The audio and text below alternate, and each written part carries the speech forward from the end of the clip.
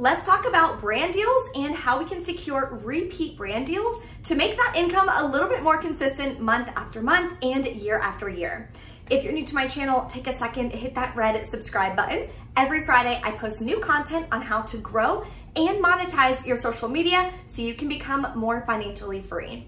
So in this video, first I wanna talk about a couple tips and strategies that I use to be able to lock in repeat brand deals and work with the same brands over and over and over.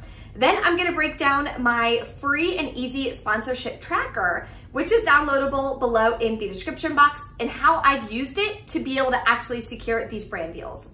So first things first, in order to secure brand deals, you wanna make sure that you are building a relationship with that contact and with the brand. That starts from the very first email, whether you're reaching out to them and securing a brand deal or they're reaching out to you and asking to work with you. You wanna make sure that you are very professional, you're kind, you're courteous from the beginning. If you're really rude or unprofessional, of course they're not gonna wanna work with you again. So that is key. As silly as it sounds, you'd be surprised. Some people are not very professional through email. You are your own brand and you are representing yourself and your business. So you wanna make sure that you are handling it like that. So be really professional, really courteous, use sincerely or warmly at the bottom of an email, just simple email etiquette to make sure that you're starting to build that relationship with the brand.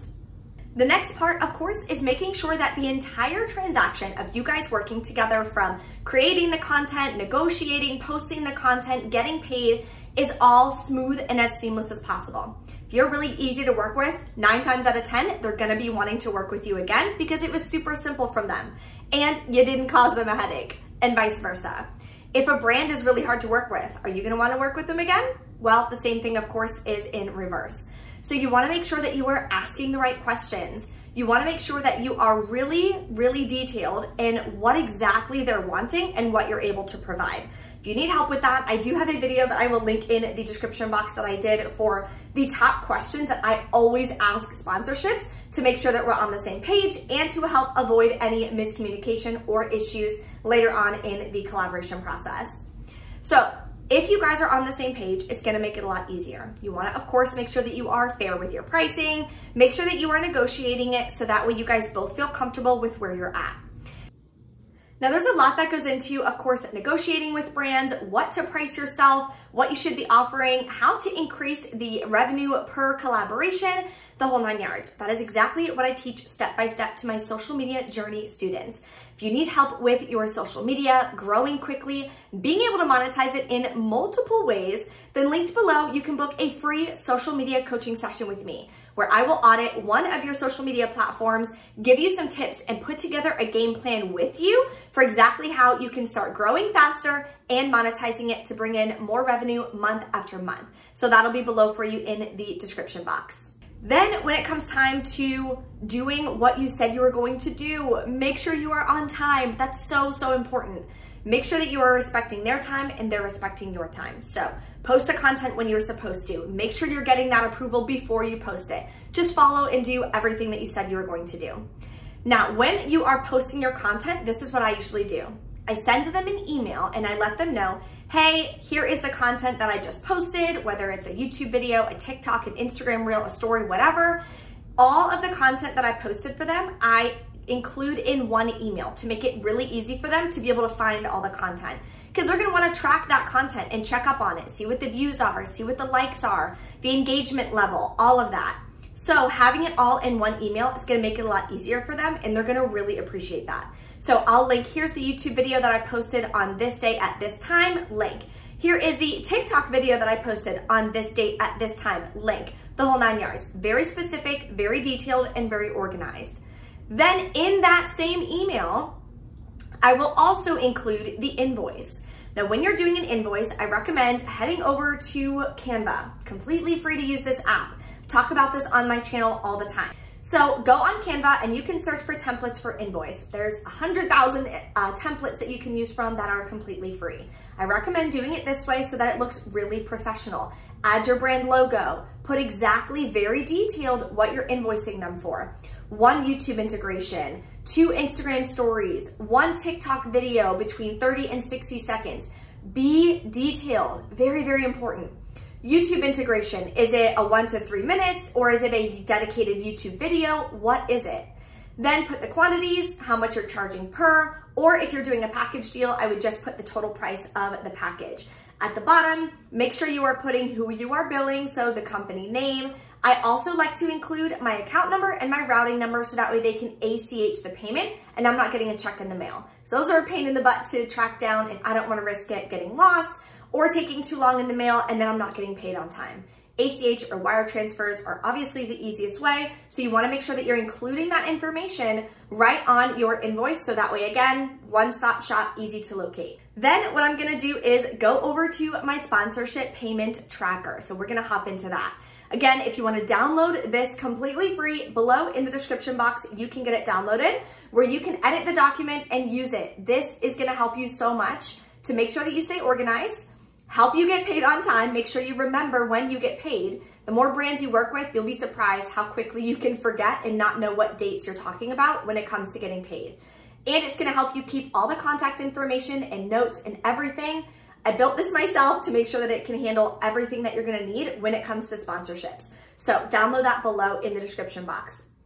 And if you're enjoying this video so far, before we hop into exactly how to use that tracker, take a second, smash that like button for me. Now let's get into this sponsorship payment tracker is what I call it. That's what I've labeled it.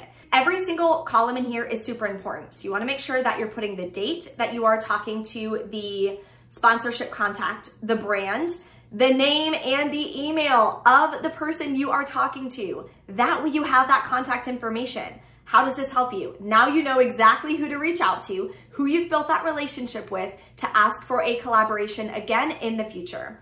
Just because you had a great experience and you let them know, hey, let me know whenever you have time or whenever you have another collaboration opportunity, doesn't mean they're actually gonna reach out to you. It is your responsibility that you wanna be in the driver's seat. So if you want more income and you wanna work with this brand again, you now have their contact information to be able to do so. You know the date, you know exactly what you did with them, makes it a lot easier. So you wanna put what was the price that you guys worked out and landed on? What exactly did you give them for that price? How many Instagram reels, TikTok videos, YouTube shorts, whatever. Write all of that down. Again, be very specific because you're not gonna remember in three months what you did for this brand. Then you wanna make sure that you're putting the date that each of the videos or whatever you guys worked out is posted and delivered. Then you wanna put, what is the payment terms? Are they on 30-day pay terms? Are they on due upon receipt of the invoice? Are they 90-day pay terms, which some brands are? Make sure you know that so you can put that in there. Then count, okay, what's 90 days from that date and put that in there. Now, when you go back in 30 days and you're like, oh yeah, when, when am I gonna get paid from that brand again? I don't remember. And you are gonna see exactly what date you're gonna get paid from that brand. Then what I do is whenever I do actually get paid, make sure that you're checking on that. The date you get paid, you wanna make sure you're putting that in there as well. Did you get paid early? Was it a good experience with the brand? Or did they pay late? Which honestly happens rarely. I think I've only been paid late one time and I've been doing this for five years. But you wanna make sure that of course you are on top of that and tracking that to help ensure that that doesn't happen. And then of course you wanna put in some notes. Some really important notes that I recommend putting in is what are the deliverables that they're looking for? What makes a sponsorship and a collaboration with you successful in the eyes of them? Is it 100 signups on their website? Is it 50 sales on the product that they're selling? Is it 25 downloads of the app? What makes the collaboration successful for them. I would put that in there. That way, when you're reaching out to them, it's more of a warm follow-up, right? You've already worked with them, you know exactly what they're looking for. You can use that terminology again in the email when you're reaching back out to that sponsorship. That is gonna set you so far ahead of 95% of the other influencers that they're working with. I guarantee you a lot of people don't do this. And this is gonna help set you apart. So that way they can now choose to work with you again, who you're very professional, you're organized, you remember what they actually want. That's gonna show that you're invested in the brand, you followed up with them, or an influencer that emails them, hey Barb, what collaboration opportunities do you have for me this month? Do you see what I mean? You wanna set yourself apart and differentiate yourself in a more professional way. That's gonna help you land a lot more repeat sponsorships. Let me know in the comments below if you have any questions and what advice you have for fellow influencers when it comes to negotiating and talking to different brands to secure collaborations. Thank you guys so much for watching. If you wanna check out my Bet on Yourself playlist, click this link here. These are all of the videos I've done to help you grow and monetize your social media. And again, if you're not subscribed yet, click my face icon right here. I will see you next Friday in my next video. Thanks for watching. Bye.